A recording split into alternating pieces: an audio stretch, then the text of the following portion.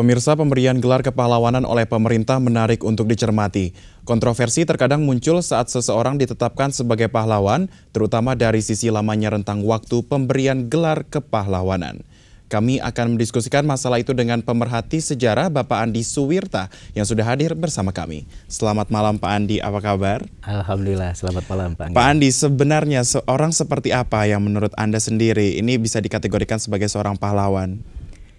Ya, pahlawan itu tokoh ideal ya, hmm. ya yang akan menjadi panutan masyarakat, panutan banyak orang. Karena itu harus terpancar dalam sikap, perilaku, pemikiran yang bersangkutan agar nanti diikuti oleh uh, generasi yang uh, merupakan pelanjut dari uh, pahlawan tersebut. Mm -hmm. Karena itu memang uh, mesti ada kualitas-kualitas pemikiran, kualitas kepribadian, perilaku yang memang itu patut dicontohi, patut diteladani. Karena itu nilai-nilai uh, kepahlawanan adalah nilai-nilai ideal yang memang uh, sepatutnya ditunjukkan oleh tokoh uh, tersebut seperti kejujuran, seperti juga keikhlasan mm -hmm. di dalam berjuang, amanah dan seterusnya. Semuanya nilai-nilai yang serba ideal karena akan menjadi panutan bagi banyak orang. Karena ini penilaiannya juga uh, kualitatif dan bisa berujung kepada subjektif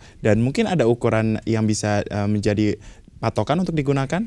Ya, sebenarnya yang uh, cukup objektif untuk menilai seseorang itu layak uh, dijadikan pahlawan atau tidak itu mesti tokoh yang bersangkutannya sudah tiada ya supaya hmm. kita objektif membicarakannya peran-peran apa yang telah dilakukan pemikiran-pemikiran apa yang telah disumbangkan termasuk juga tindakan-tindakan apa yang telah diperbuat sehingga berbagai segi dari kurun waktu sejak beliau berjuang sampai dengan akhir hayatnya itu apakah menunjukkan satu konsistensi di dalam pemikiran, di dalam perbuatan yang menunjukkan dia memang pantas diberi gelar pahlawan. Dan apakah ini ah, harus melalui sebuah diskusi dari sebagian orang atau seperti apa?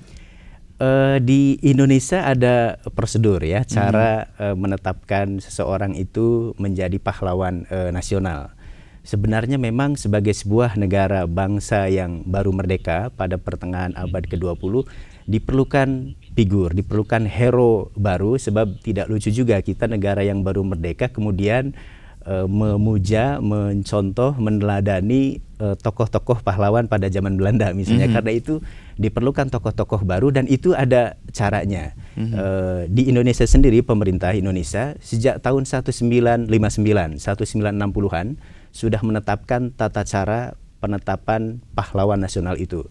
Itu biasanya uh, didiskusikan oleh organisasi profesi, misalnya uh, eh, MSI, Masyarakat uh, Sejarawan Indonesia, termasuk cabang Jawa Barat, biasanya mendiskusikan itu berbagai segi peran pemikiran yang bersangkutan dikaji kemudian bersama-sama dukungan dari masyarakat pemerintah daerah diajukannya kepada Kementerian Sosial kemudian diajukan kepada presiden untuk ditetapkan sebagai uh, pahlawan nasional. Kalau melihat dari prosedurnya sendiri, uh, Pak Andi, Anda melihat bahwa ini prosedurnya cukup sederhana atau rumit atau seperti apa?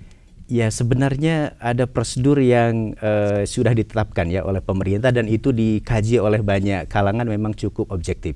Misalnya kriteria pahlawan uh, nasional itu bahwa dia harus berjuang uh, sejak uh, awal hingga akhir itu menunjukkan satu konsistensi. Mm-hmm. Kemudian perjuangannya itu punya impact, punya pengaruh tidak hanya bersifat lokal tapi juga uh, nasional.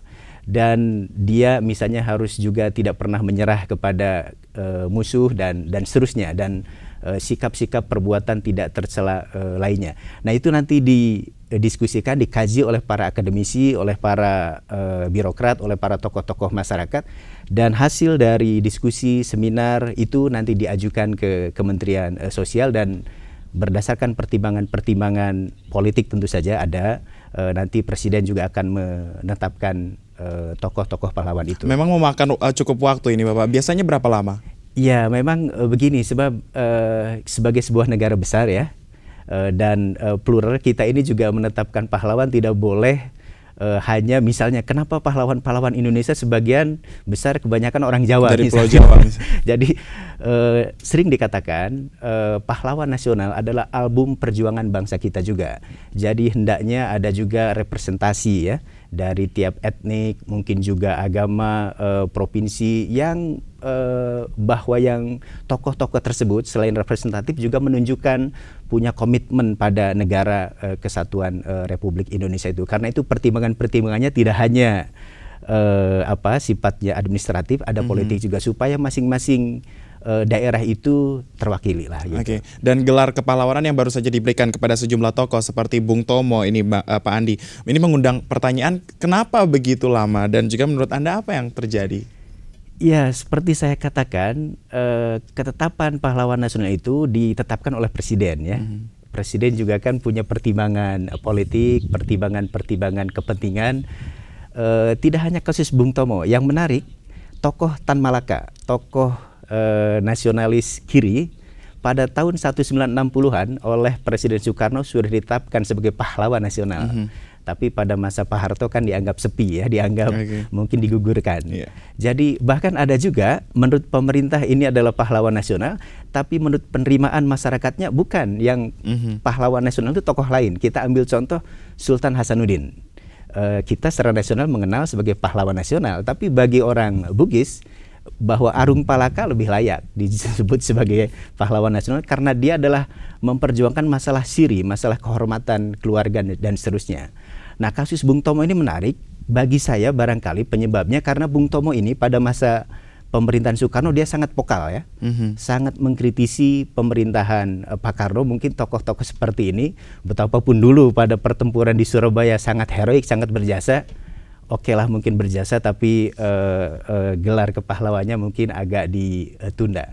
Di samping harus diingat juga tidak semua orang tokoh ingin pamrih menjadi pahlawan kalau kita uh, melihat para tokoh kiai misalnya ulama yeah. kemudian diiming-imingi pahlawan belum tentu dia mau dia bilang oh itu ria itu uh, bukan tujuan kami untuk mm -hmm. menjadi pahlawan biar Allah saja yang menentukan uh, dan membalas uh, amal perbuatan uh, kami biasanya mm -hmm. ada juga faktor-faktor uh, seperti itu mm -hmm. dan untuk model pemberian gelar pahlawan ini apakah juga lazim uh, Pak Andi dilakukan oleh negara-negara tetangga Oh iya, terutama negara-negara yang uh, merdeka uh, setelah Perang Dunia Kedua ya, yang juga merdeka akibat dijajah oleh negara-negara asing. Seperti tadi saya katakan, mm -hmm. sebagai negara baru yang merdeka perlu tokoh baru, perlu tokoh panutan baru. Dan kita melihat tokoh-tokoh nasionalis di negara lain, apakah di Asia Tenggara ataupun ini memang menjadikan tokoh-tokoh pergerakan itu sebagai bapak bangsa, sebagai the founding fathers. Oke, dan uh, menurut Anda sendiri, apakah prosedur yang uh, ada di negara-negara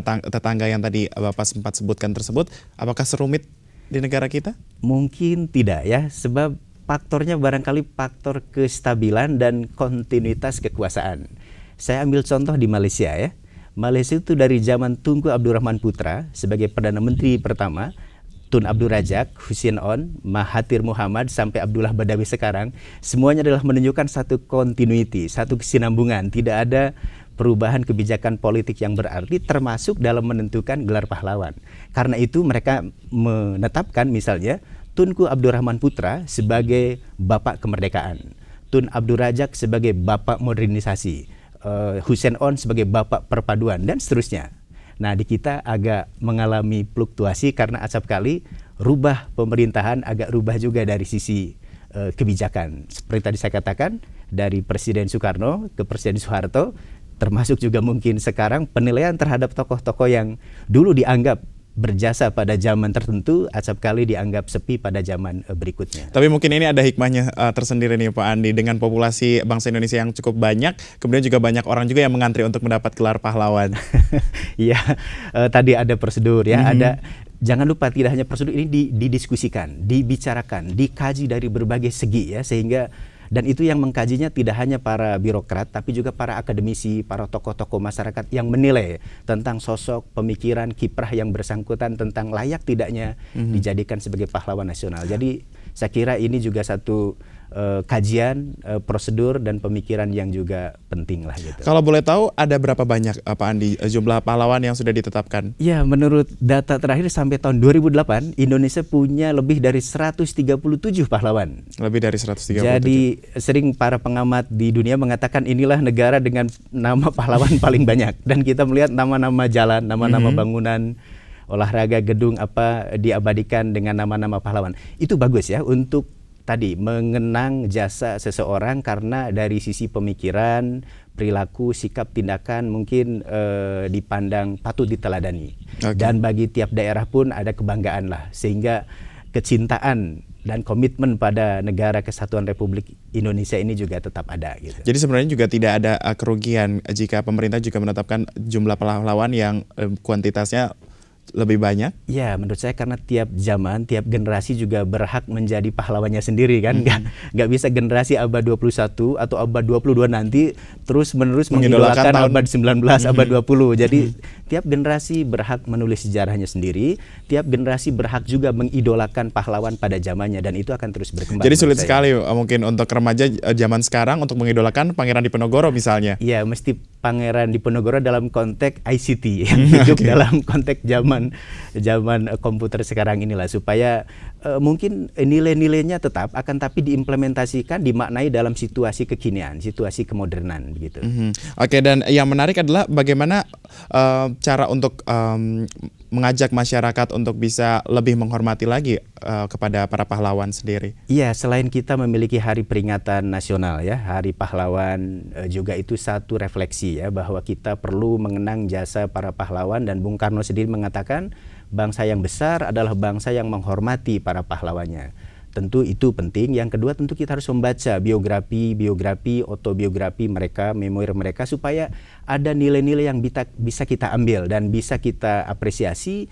bisa kita maknai, maknai dalam kehidupan uh, kekinian gitu. Jadi penting generasi muda ini membaca biografi perjuangan tokoh-tokoh pahlawan kita supaya dia tidak tercerabut dari budaya asal. Mm-hmm. Jangan membaca uh, tokoh-tokoh di luar itu memang itu penting juga ya memberi inspirasi tapi banyak juga tokoh-tokoh kita yang patut diteladani karena dia juga punya pemikiran, punya sikap, punya tindakan yang istiqomah, yang konsisten ya, yang dan itu menurut saya uh, membanggakan lah gitu. Dan mungkin uh, akan lebih menarik lagi mungkin uh, Pak Andi ketika masyarakat diberikan kesempatan dan juga akses yang luas untuk bisa memberikan informasi atau mungkin juga masukan mengenai siapa-siapa saja yang akan uh, bisa atau mungkin juga yang patut untuk diberi gelar kepahlawanan selanjutnya. Oh iya, tadi saya katakan tokoh yang sudah wafat, yang sudah meninggal itu kan akan dikenang ya, akan dikaji dari berbagai segi termasuk juga diusulkan tentu oleh uh, daerahnya dan proses pengusulan itu nanti dikaji dari berbagai segi, dikaji juga oleh Kementerian Sosial dan